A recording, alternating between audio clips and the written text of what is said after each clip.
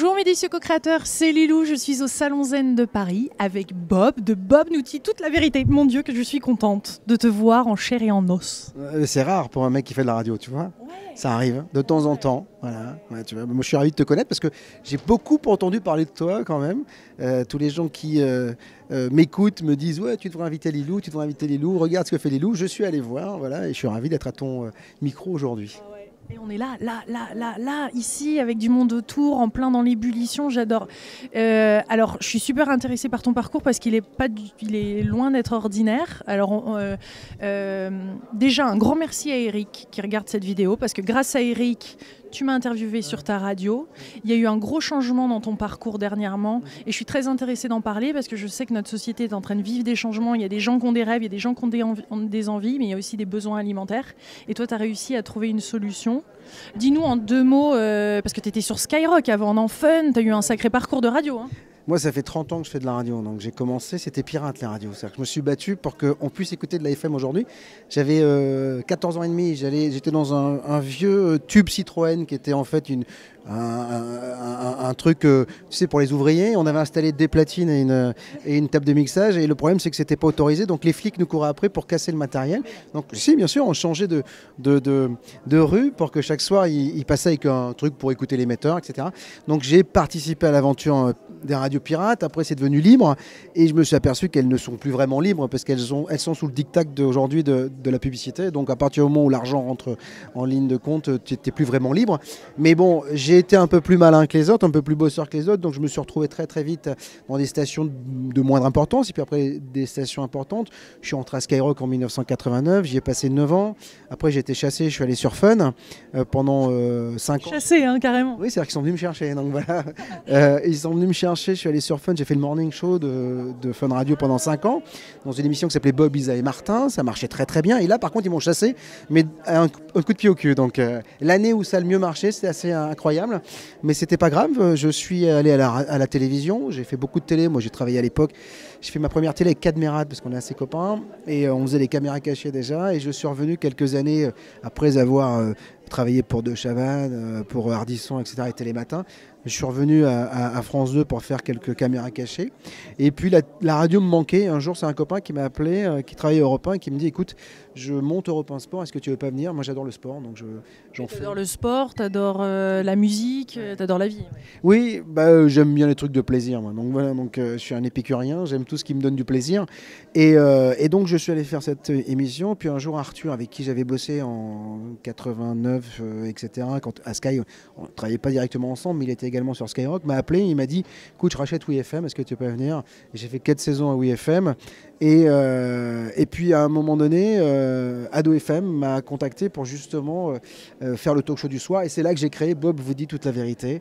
Et changement incroyable dans ma vie parce que je suis quelqu'un qui, qui se pose beaucoup de questions depuis très longtemps.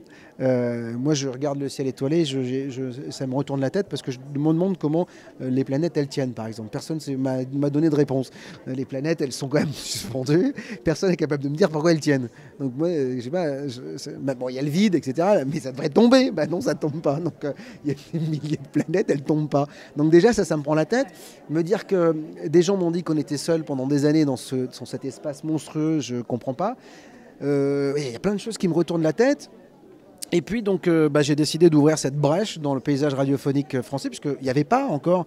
Marc Menon avait fait un petit peu de trucs à l'époque sur Europe 1 ou RTL, je sais plus, mais c'était une fois par semaine. Et moi je me suis retrouvé en fait dans un univers qui était assez, assez incroyable parce que j'ai rencontré des gens en fait. C'est surtout ce qui m'a euh, bouleversé, mais vraiment parce que ça a changé ma façon de voir. C'est, euh, je me suis dit au début, je vais tomber sur des illuminés, c'est-à-dire que je vais tomber sur des gens qui sont complètement fous, qui ont des croyances, etc. Et en fait, je m'aperçois que je tombe pas sur des gens qui ont des croyances.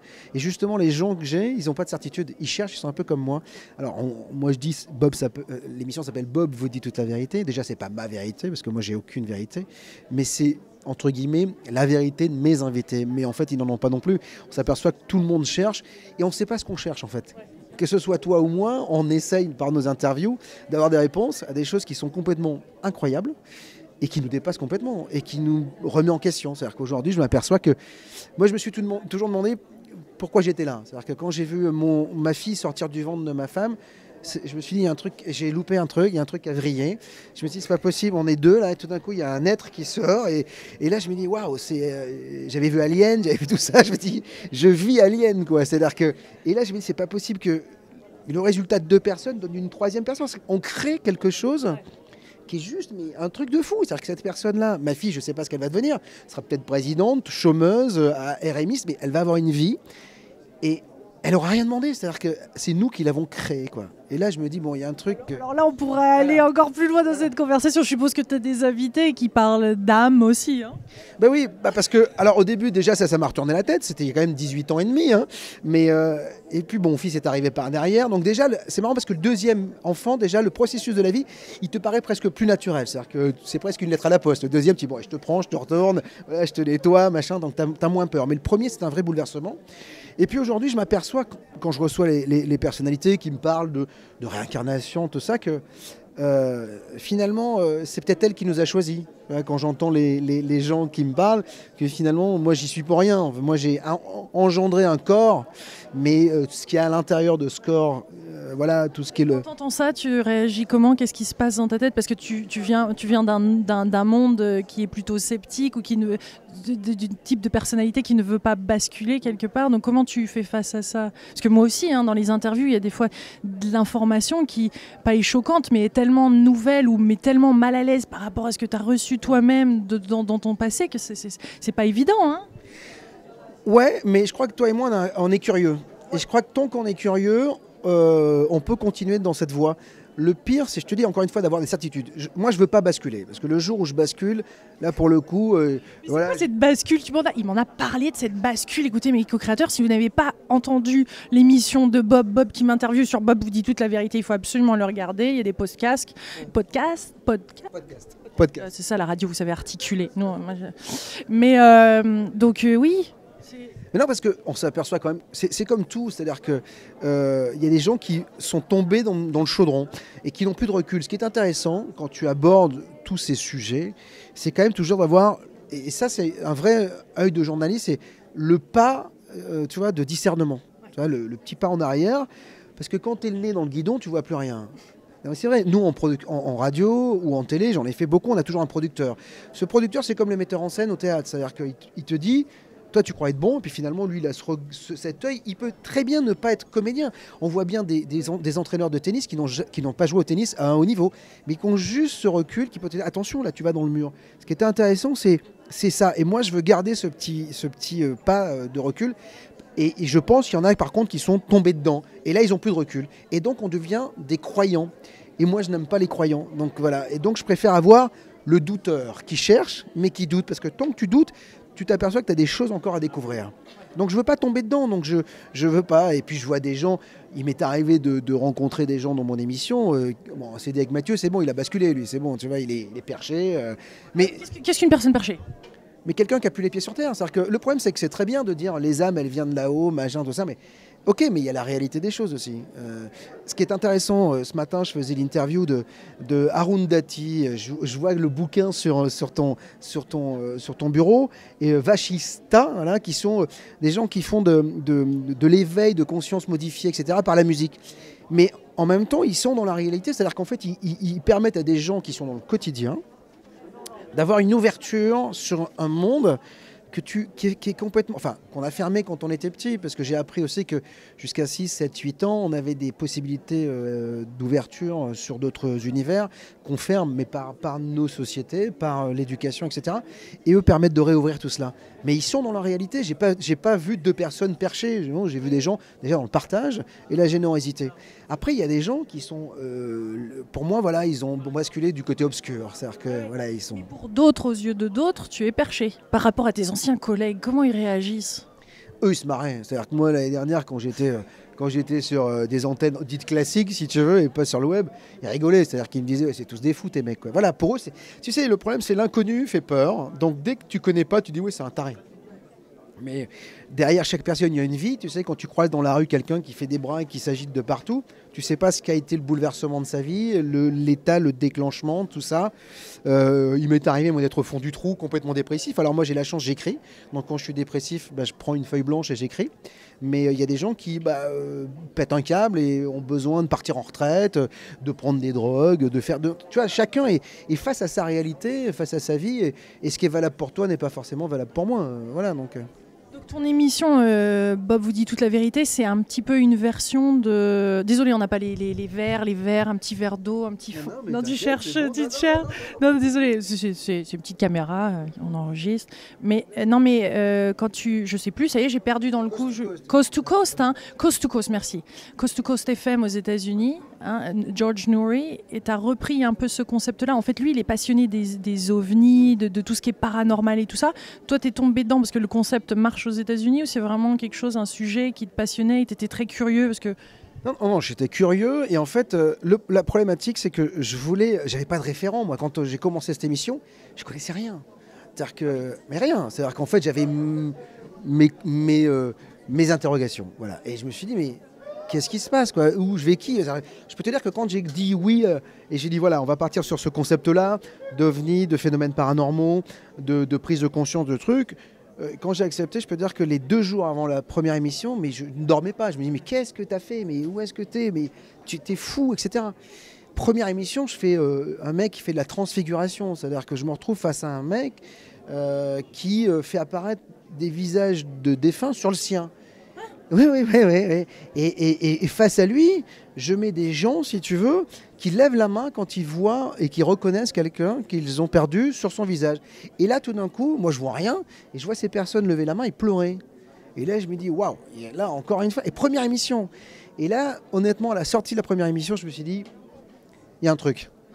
C'est un sacré pari de faire ça en plus sur une radio, là, parce que là, il n'y a pas la caméra pour voir le, la transformation et tout ça. C'est d'autant plus difficile. Non, parce qu'il y a un truc qui est fantastique avec la radio, c'est pour ça que je trouve que c'est le plus beau métier, du monde, c'est qu'il y a l'imaginaire. Euh, tu vois, là j'ai signé l'émission en télé, si tu veux. Euh, tu veux faire décoller un ovni à la télévision, c'est cheap. Mais on n'y croit pas. Que ça fait... Soit c'est Spielberg et tu as beaucoup de moyens, soit tu as la, la, fausse évocation et tu as la petite, euh, tu as la petite assiette retournée qui fait ça. La radio, c'est les deux funesses, là. la soupe au chou. Voilà, donc, voilà. donc si tu veux, l'avantage de la radio, c'est l'imaginaire. C'est-à-dire que quand tu parles d'ovni, tu te crées ton, image. Quand tu parles de fantôme, tu te crées ton fantôme. Moi, j'ai eu des auditrices me disant Je suis dans mon plumard, je vous écoute, je peux pas sortir parce que j'imagine que dans le placard, il y a un fantôme. Il y a forcément rien dans le truc, tu vois. Moi, depuis qu'on parle de fantôme et d'entité, quand je descends dans mon garage, j'éteins la lumière pour voir si je vais pas avoir quelqu'un qui va se matérialiser. Il se passe jamais rien, mais peut-être qu'un jour, je vais m'attendre à rien, il va se passer quelque chose. Mais dans tous les cas, l'imaginaire est beaucoup plus fort. C'est pour ça que la radio, c'est fantastique tu peux mettre un, boudin qui fait de la radio, on la trouvera super belle, tu vois ce que je veux dire voilà, on, va toujours imaginer grand, beau et fort, donc tu vois, voilà, c'est l'avantage de la radio. Voilà. Mais non, non, bon, pour en revenir à George Noory, c'était un référent. En fait, voilà, je me suis dit, qui fait ça dans le monde? Et je me suis aperçu qu'ils étaient deux, trois à faire ça aux États-Unis, dont George Noory. Et j'ai eu la chance, en fait, de rencontrer et de travailler avec l'homme qui a mis à l'antenne aux États-Unis, le producteur, George Noory, un mec qui s'appelle David Hall. Et donc, on a travaillé sur comment adapter la chose en France, parce que lui, il fait des interviews fleuves de 5 heures, etc. Euh, et lui, il a, un peu basculé aussi. Et puis, il, est rentré dans un truc dans lequel moi, je veux pas. Il en a fait vraiment un commerce monstrueux. C'est-à-dire qu'il fait des conférences où c'est euh, 500 dollars la, la, truc. Avec Steven Greer, donc tu dois connaître, si tu veux, ils font des trucs. Il y a un côté un peu secte, etc., qui me dérange un peu. Euh, et ça, je veux pas rentrer. Je dis à Mathieu, souvent, qui travaille avec moi, si un jour j'ai pas de boulot, je vais dans le Larzac, je monte une secte, je suis gourou. Hein. Non, parce que entre tous les gens qui m'écrivent, qui me disent Bob, tu es formidable, tu es Dieu pour moi, tu es, tu es une grande âme, c'est-à-dire que je me dis, on peut très vite basculer. C'est pas le côté de tomber dedans, c'est ça, tu vois, je veux dire, c'est-à-dire que tu peux très vite te dire, putain, mais j'ai un pouvoir monstrueux, et tous les gens qui sont en perdition, je peux les prendre, je peux leur faire payer des sous, et voilà. Et je pense que c'est comme ça que les gens se font bobiner dans les sectes, tu parce qu'ils sont avec des gens. En fait, tu parles un, peu bien, entre guillemets. Tu as un, un discours euh, psy, sympa, l'écoute un peu des gens, tu peux faire basculer les gens très très vite. C'est le côté dangereux hein, de, de, tout cela. Il y a des gens qui se prennent. Il faut... surtout, il faut savoir euh, pourquoi tu fonctionnes, pour le bien ou pour euh, le mal. Hein. Déjà, il y a un moment, quand il y a, quand il y a ce pouvoir et cette responsabilité, il faut quand même se questionner. Tu sais, moi, quand j'ai, quand j'ai été censuré donc, euh, à, à, à cet été, je me suis dit, j'ai exposé la situation aux auditeurs en disant voilà, je ne serai pas là à la rentrée. La solution, c'est de monter une web radio pour qu'on soit totalement libre. Vous adhérez, vous adhérez pas. C'est-à-dire que s'ils n'avaient pas adhéré, je serais parti, j'aurais fait autre chose. Tu vois, je veux dire, donc j'avais pas le choix. Euh, ils ont adhéré. Je voyais bien qu'il y avait une attente. Tu vois, on le voit bien avec tes vidéos qui sont vues des milliers de fois. Donc fatalement, il y a, il y a vraiment des gens. Parce que la problématique, c'est que tous ces sujets sont pas euh, euh, abordés dans les masses médias. Ils ont, mais, mais ça croustille. Je sais, les, sujets qui touchent aux extraterrestres, euh, à la conspiration, on est d'accord que c'est des sujets où il y a beaucoup, beaucoup de vues et il y a beaucoup, beaucoup de personnes qui cherchent. Donc, donc c'est vraiment le, le une audition. Enfin, c'est, il y a beaucoup d'audience hein, qui cherchent cette information. Donc, c'est aussi, mais c'est une vraie volonté de ta part que de vouloir euh, découvrir, euh, pas seulement que ça soit croustillant avec plein d'audience, on est d'accord? Non, non, moi j'ai les sujets, si je veux faire, de toute façon, si tu veux faire de l'audience, tu prends du cul, tu fais de l'audience, on le voit bien sur toutes les trucs. Et, quand tu fais euh, euh, un mec une nana qui font de la musique euh, chamanique, tu sais pas l'audience que tu vas avoir. Donc tu te dis pas. Le truc a été dingue, c'est que l'année dernière, en faisant ça, et en mélangeant, il y avait toujours un sujet société, un sujet euh, parce que je travaille aussi sur la santé, sur les grands scandales euh, de la santé. Euh, j'ai fait hier le sida, je vais y revenir. Enfin, il y a plein de choses. J'ai fait les vaccins, etc. Mélangé aux ovnis, mélangé au paranormal, etc. Tu touches un peu beaucoup de gens. Et en fait, l'important, c'est le questionnement.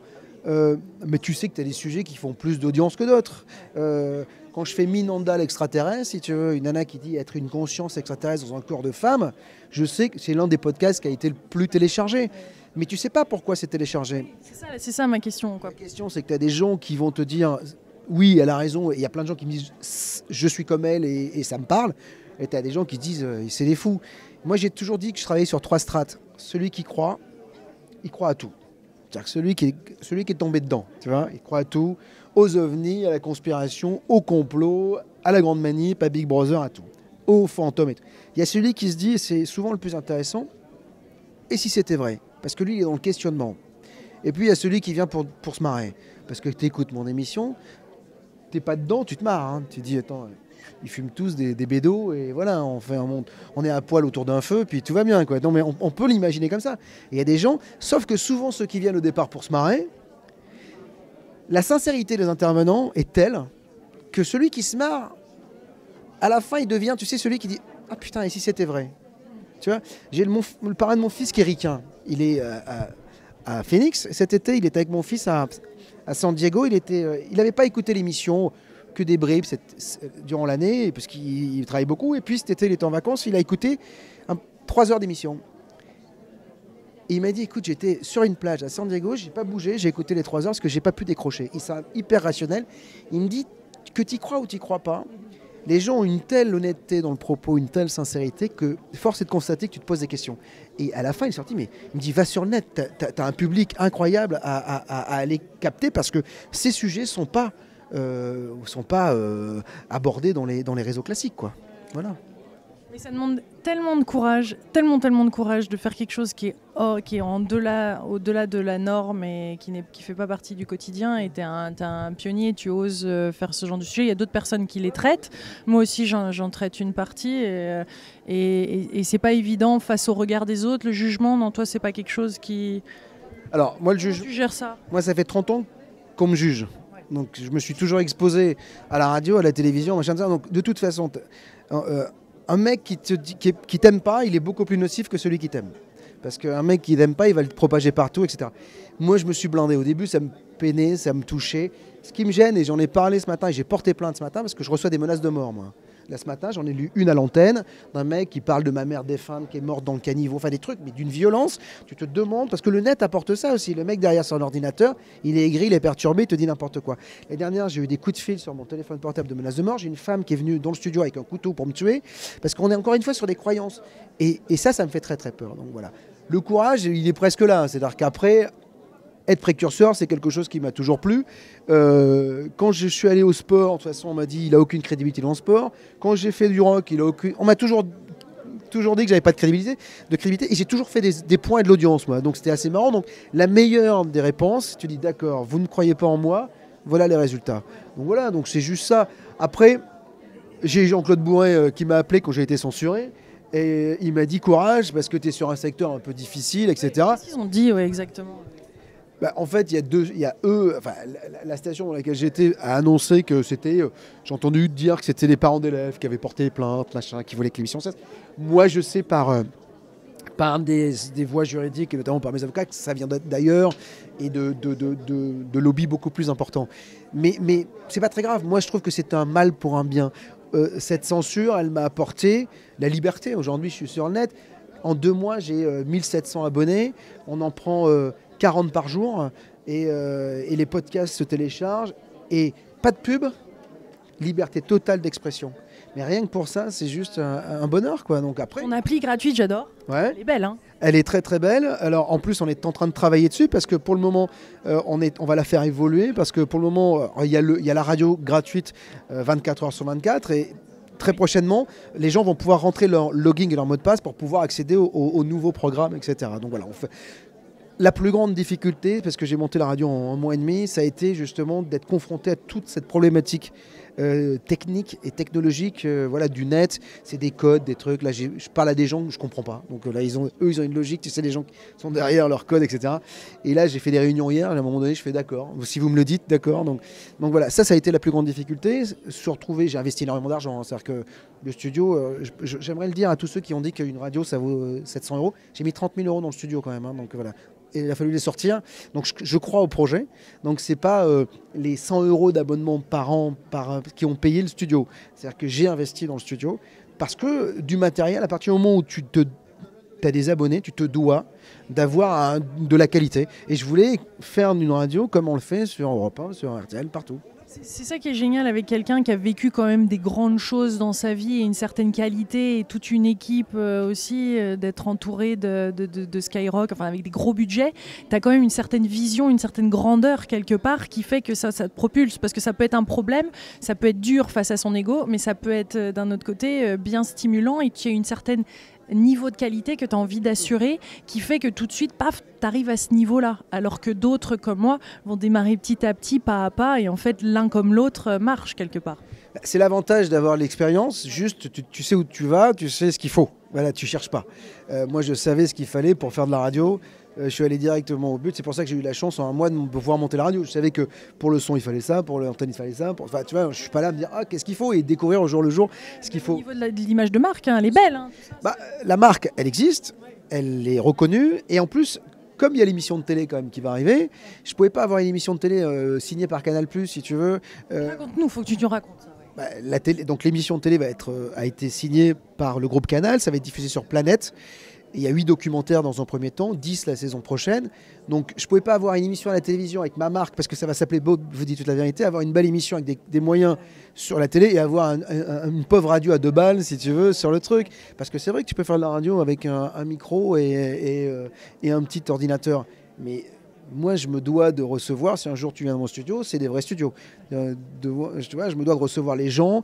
En plus, ça va, très bientôt être truffé de caméras. L'émission sera filmée, etc. Donc, je voulais, je savais ce qu'on voulait. Après, mon ego, moi, ça fait très longtemps que je l'ai mis de côté. Donc, euh, de toute façon, pendant des années, j'ai voulu être star. Euh, j'ai eu mes affiches dans le métro. Hier, ma fille me montrait des trucs. J'ai eu des 4 par 3 J'ai tout eu quand j'étais à la radio.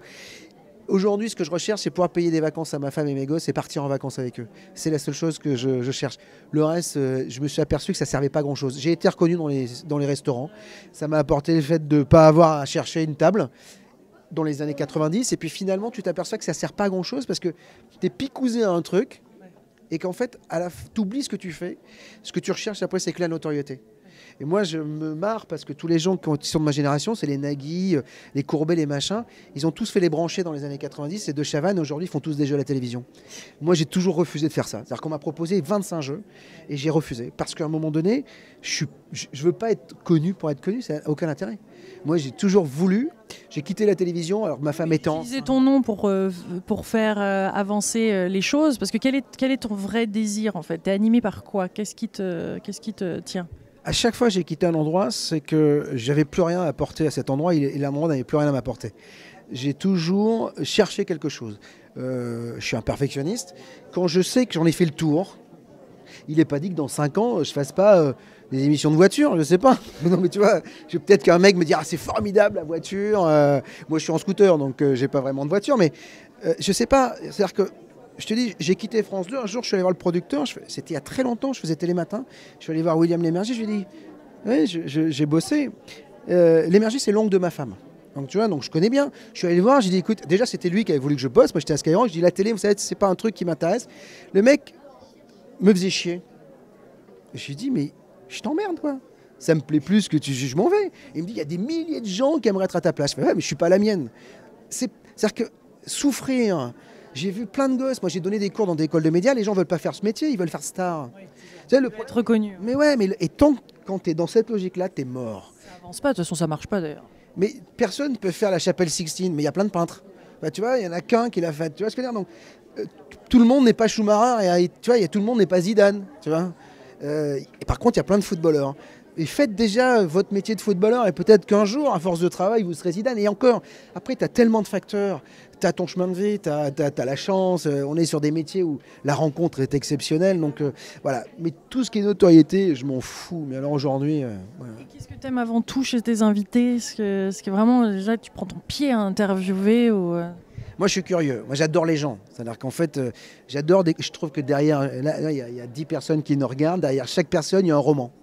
Il y a un roman derrière chaque personne. Je ne sais pas quelle est la vie de ce monsieur. Que, voilà, je ne sais pas, mais chaque vie est un, roman, un bouleversement avec ses chaos, ses joies, ses peines.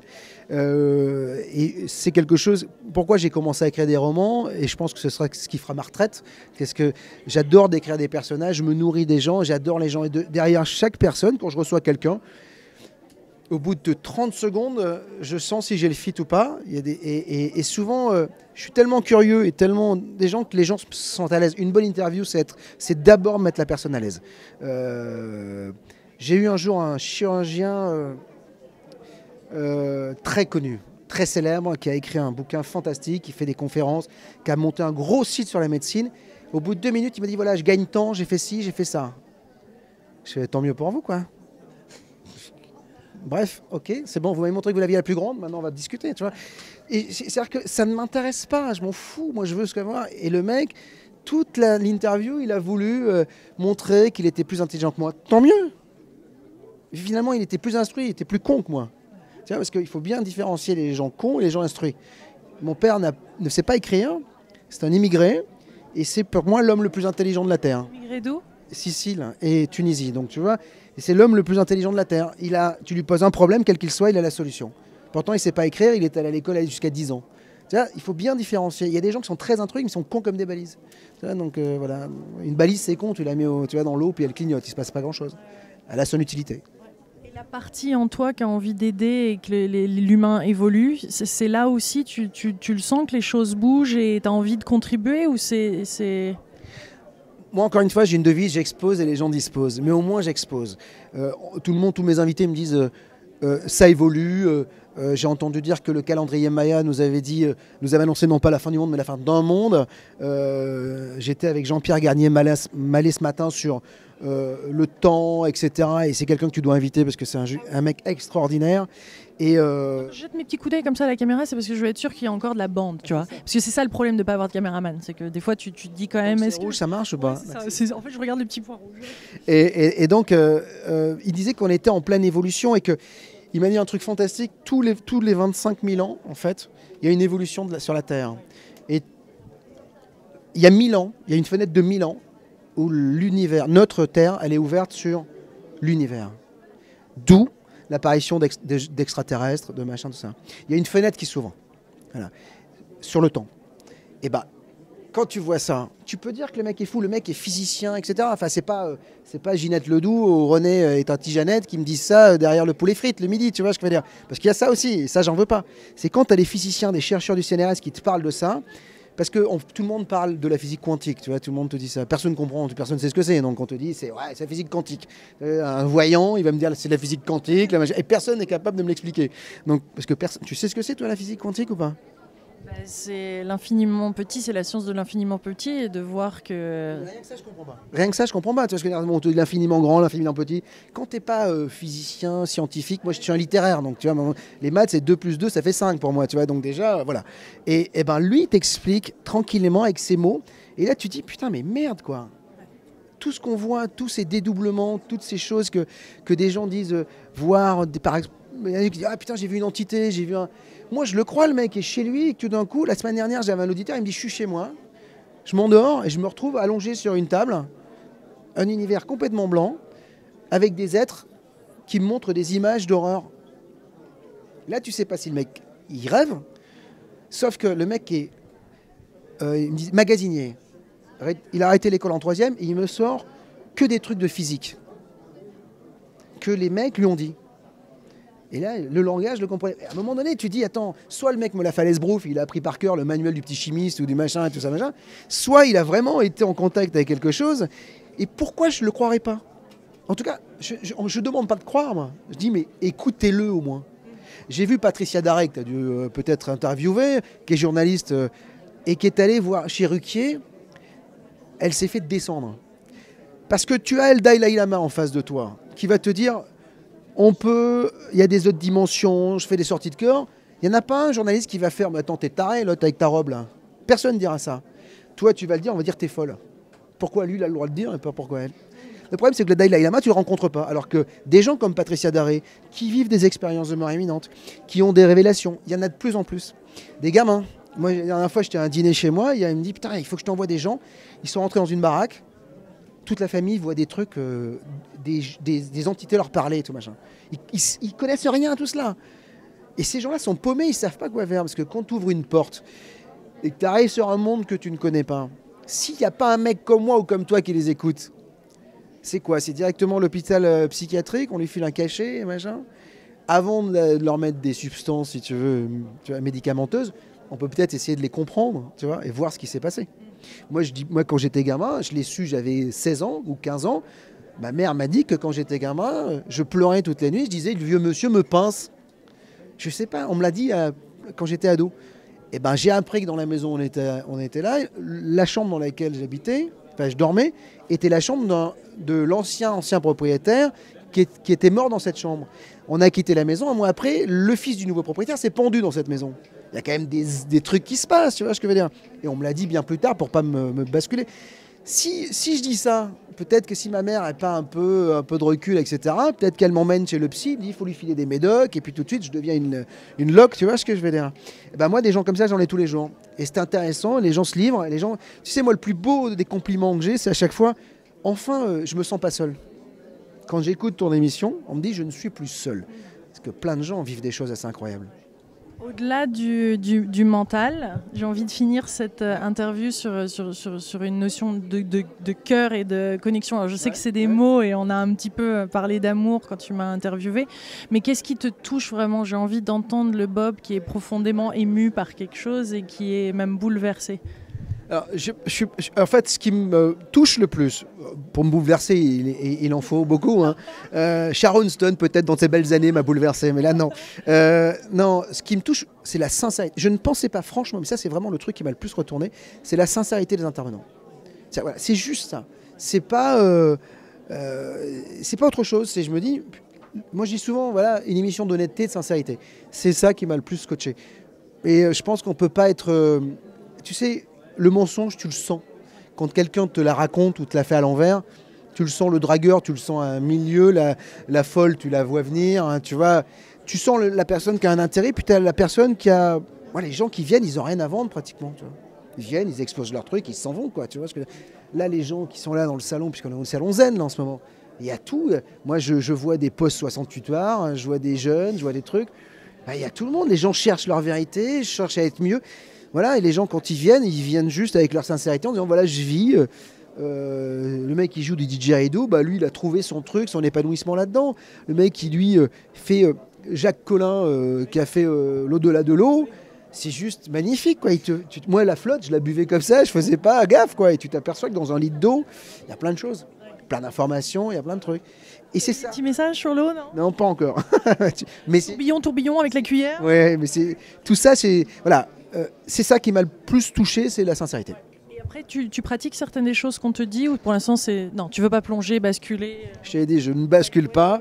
Euh, j'étais très intéressé ce matin par le, la relax. Le problème, c'est que moi, je suis hyper nerveux en plus. Donc, c'est-à-dire que le temps que j'arrive à me relaxer, il y a déjà 8 trains qui sont, trains qui sont passés. Machin. Je suis tout le temps dans l'énergie. J'attends la retraite. Quand je serai vieux, j'aurai le temps. Voilà, tu vois, voilà. Moment présent, peut-être qu'un jour écartelé. à foutre, hein. Donc, c'est à un moment donné, quand tu as que ça à faire, tu vois, donc voilà, t'as le, temps de te, t'as le temps de te concentrer un peu sur toi.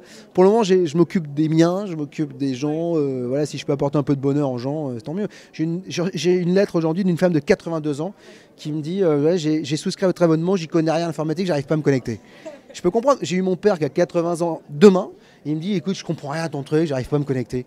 On a eu plein de problèmes. Les gens, tu sais, ça se connecte pas. parce que- et j'ai appelé, soit j'ai écrit moi-même aux gens, soit j'ai appelé, soit je fais appeler des gens en disant on va vous aider, etc. Mais la dame qui me dit c'est pas grave, gardez le chèque de 100 euros. Mais tu imagines cette petite dame qui a 82 ans, euh, qui écrit avec son petit mot, qui prend le temps de m'écrire, qui me dit voilà, j'ai été scotché par la censure de votre émission, j'ai adhéré à votre truc, je comprends rien à l'informatique, j'arrive pas à me connecter, mais gardez parce qu'il faut que vous continuez. Ben, c'est fabuleux. Voilà, rien que ça, c'est vraiment. Alors, si, un truc m'a touché. Jacques Thomas, je sais pas si tu as fait Jacques Thomas en interview, un mec qui est aveugle, qui est devenu aveugle et qui a, a développé des facultés, et notamment euh, il, fait ostéo, du magnétisme, etc. Son fils est au Brésil, écoute l'émission, lui dit Papa, tu devrais écouter un mec, il est formidable, il aborde les sujets que tu aimes bien, etc. Il à la radio, écoute-le. Jacques Thomas écoute, et c'est vrai qu'il trouve ça, il nous appelle, on monte une interview, etc. Mais ce qui est intéressant, c'est que le fils avait du mal à comprendre son père. Et ben, grâce à cette émission, ils se parlent et ils sont sur la même longueur d'onde. Et il me dit, le père me dit, grâce à vous, Bob, j'arrive à, communiquer avec mon fils. C'est fantastique, ça. Tu as juste ça, tu dis, bah voilà, au moins, euh, je suis pas là par hasard et pour rien, c'est tout. Un beau facilitateur. Je sais pas, je sais pas ce que je suis. Je suis Bob et puis voilà, on verra. Bob, en tout cas, Bob nous a dit toute sa vérité aujourd'hui. Merci, Bob. Bah, merci à toi et, et que il faut que tu sois partout. euh, la télé de Lou, faut qu'elle soit partout. Voilà. Tu viens de me donner des tuyaux là, c'est assez énorme. Hein Sur la Freebox, c'est génial. Ça. Mais tu peux être sur la Freebox, tu peux être sur tout. Il faut demander simplement, mais on va t'aider avec Mathieu. Mathieu, c'est, il est toujours avec moi et c'est, il sait tout. Ouais, il sait tout. Gros bisous à Mathieu et merci pour cette euh, connexion, une très belle connexion, une très belle conversation. Merci, Bob. Et on se retrouve sur ton site. Gros bisous, mes délicieux co-créateurs du Salon Zen de Paris. Je vous embrasse bien fort. À bientôt. Bisous.